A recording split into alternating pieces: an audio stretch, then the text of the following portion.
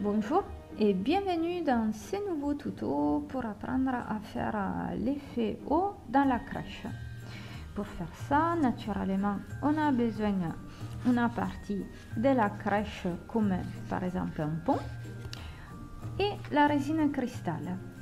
Si vous voulez faire des décorations euh, dans l'eau, vous pouvez les coller avec de la colle à mosaïque et euh, si vous voulez rajouter euh, des petites pointes de peinture, on pourra utiliser de la peinture acrylique. Avec la colle mosaïque, je vais rajouter des morceaux de papier aluminium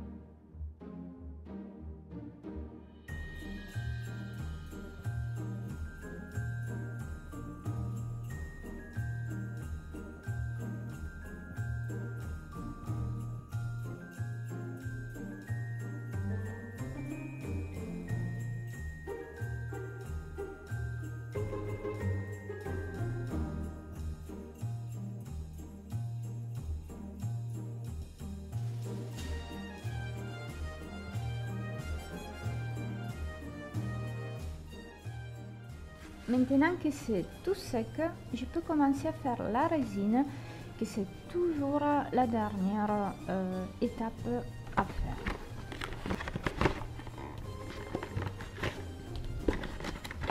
Il faut toujours bien lire ce qu'il dit le fournisseur avant de commencer.